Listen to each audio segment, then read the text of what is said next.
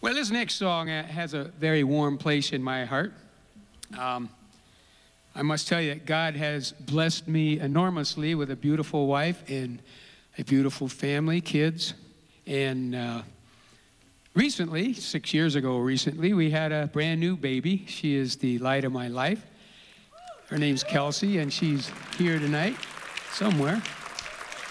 Uh, she loves to eat vanilla ice cream with rainbow sprinkles on top and Daddy loves to eat it with her. Anyway, this song reminds me of her because this song has a rainbow in it.